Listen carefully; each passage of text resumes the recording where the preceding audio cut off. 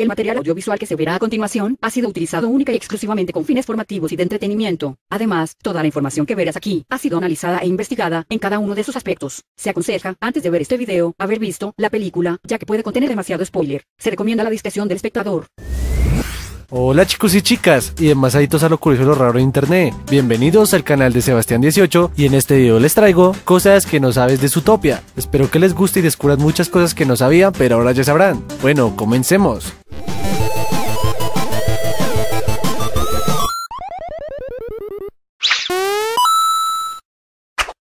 Zootopia fue oficialmente estrenado el día 4 de marzo del año 2016 y esta es la película animada número 55 producida por Walt Disney Studios. Sin embargo, muchos no saben que desde un inicio se tenía planeado cancelar la película por diferentes inconvenientes, aunque por una votación que hubo entre los directores y ejecutivos de Disney se pudo mantener el plan para realizarla.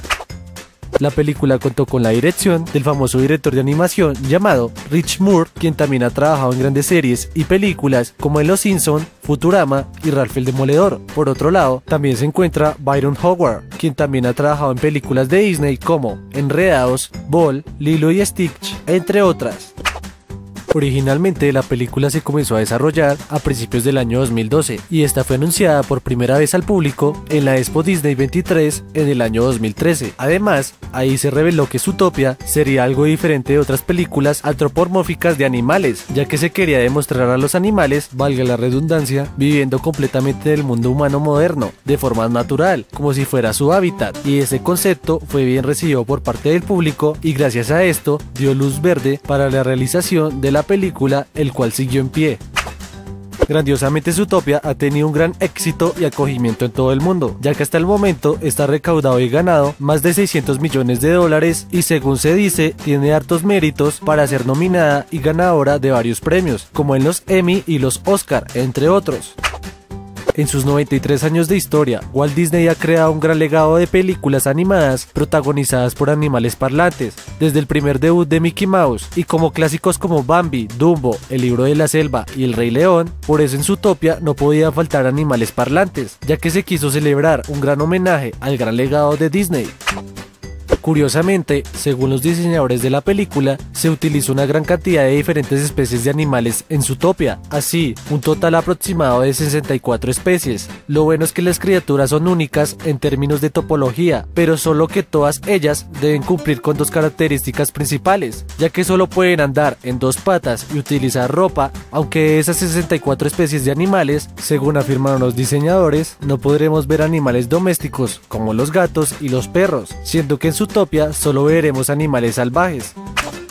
Por otro lado, antes de comenzar con el desarrollo de Zootopia, todo el equipo principal de la película, como diseñadores, animadores y productores, tuvieron que realizar un estudio de 18 meses del comportamiento de muchos de los animales que se ven en el filme, para así lograr que las animaciones y muchas de las cosas que aparecen en la película fuera lo más apegado a la realidad. Por ejemplo, ellos visitaron varios parques y zoológicos y realizaron un viaje especial a Kenia, en África, para así compartir y conocer más la conducta y movimientos de los animales en su hábitat natural.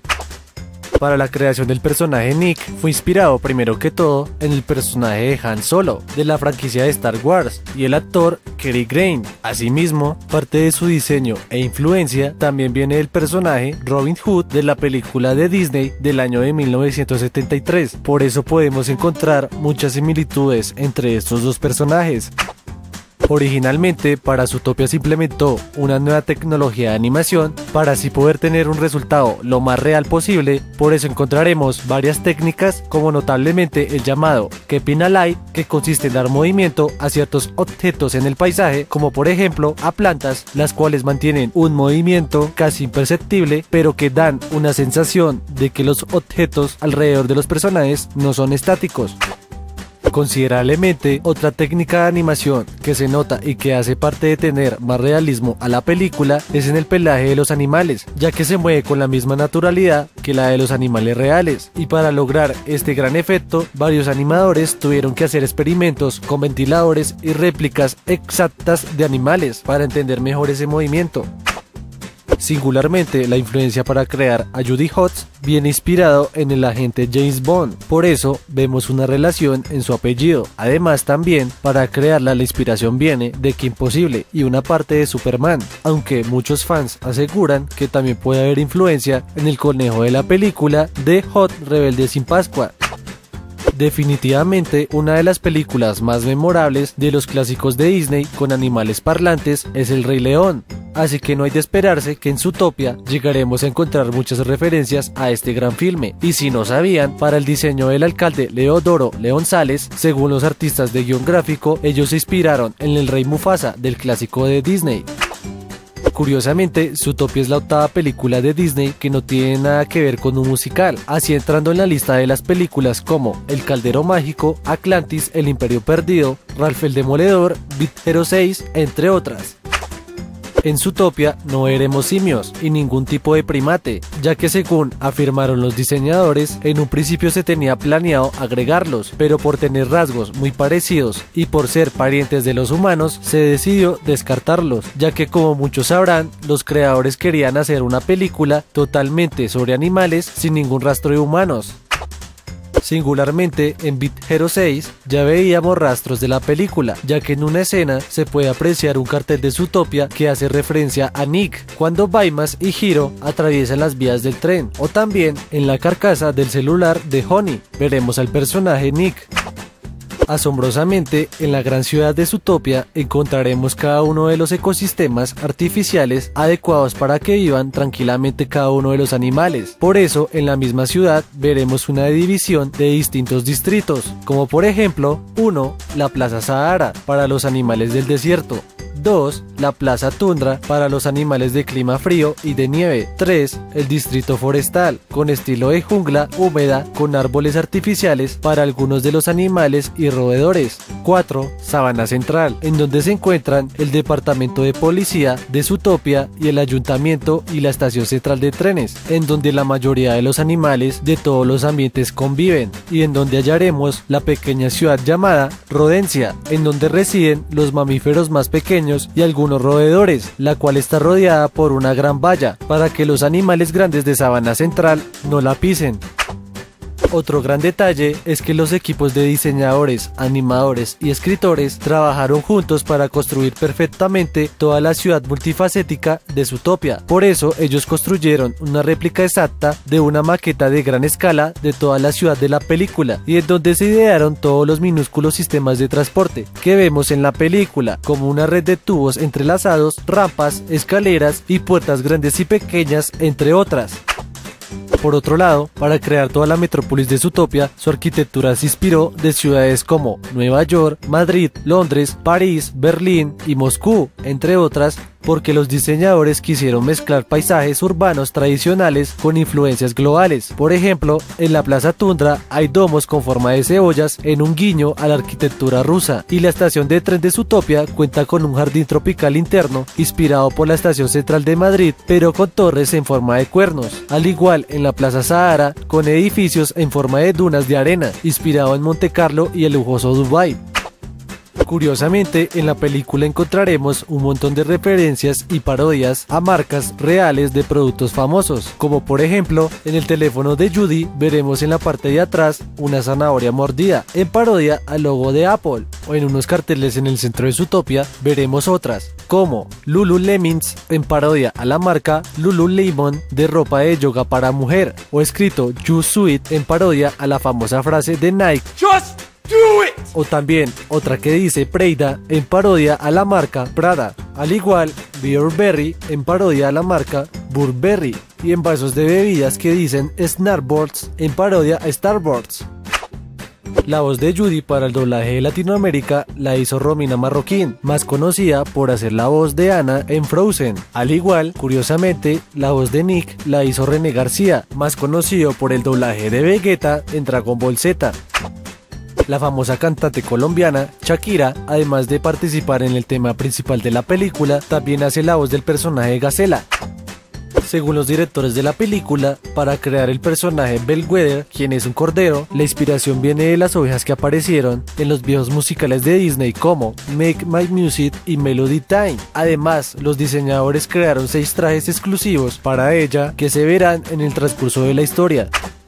Una de las cosas maravillosas de Zootopia es que en el transcurso de la historia también podremos encontrarnos con muchas referencias y huevos de Pascua hacia otras películas. Por ejemplo, en una de las escenas de la Plaza Tundra, en la parte inferior izquierda, nos encontraremos con dos pequeños elefantes vestidos como las protagonistas Elsa y Anna de la película Frozen. Además, en uno de los diálogos que tiene Judy con el jefe Bogo, hay una mención de otra referencia hacia Frozen, ya que el jefe Bogo dice lo siguiente, en forma sarcástica, la vida no es una película musical donde cantas una linda canción y tus insípidos sueños mágicamente se cumplen y ya. Asimismo, en otra escena se puede ver una pastelería llamada Hans, que hace referencia al príncipe Hans que traicionó a Anna en Frozen. Y en la escena en la que Judy y Nick van a buscar información del sospechoso, se puede apreciar en un estante una lámpara parecida a la de Aladdin.